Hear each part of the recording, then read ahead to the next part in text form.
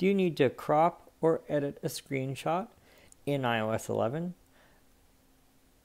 I can show you how. Stay tuned.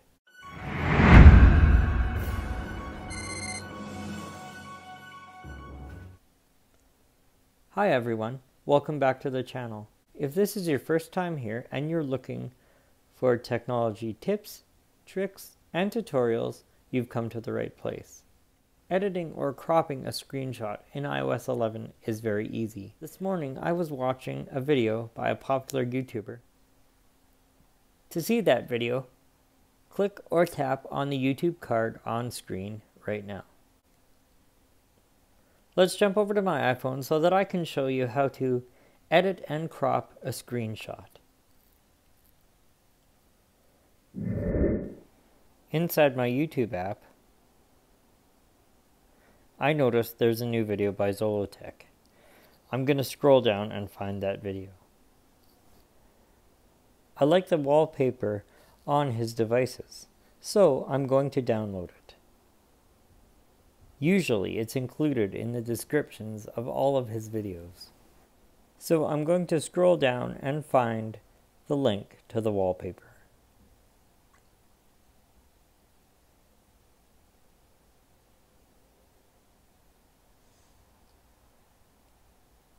Once I tap the link, the image will open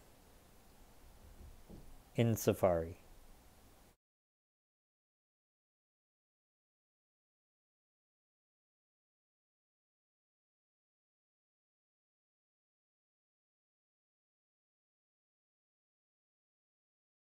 I'm just going to take a screenshot.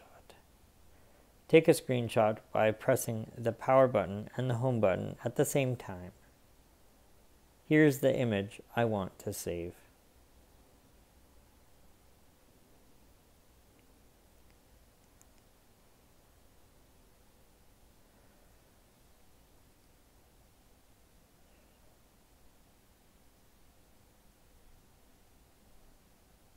When you take a screenshot, the screenshot editor will appear in the bottom left hand corner. Tap on the editor to open it. Adjust the crop handles so that only the wallpaper is visible. Here you can also add text, shapes, and mark up the image in a bunch of different ways. But I'm just interested in cropping the image so I can use it as wallpaper.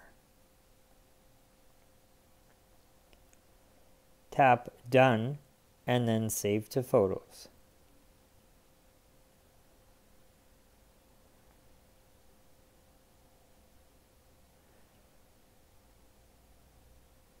Exit Safari and then go find the settings app. Scroll down and find wallpaper. Tap wallpaper. To set the wallpaper, Tap Choose New Wallpaper. Tap All Photos and then choose the photo that was just saved. Tap Set Home Screen to change the wallpaper on the home screen only.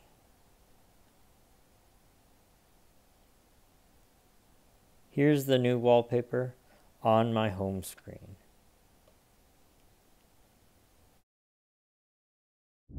I love Mike's videos.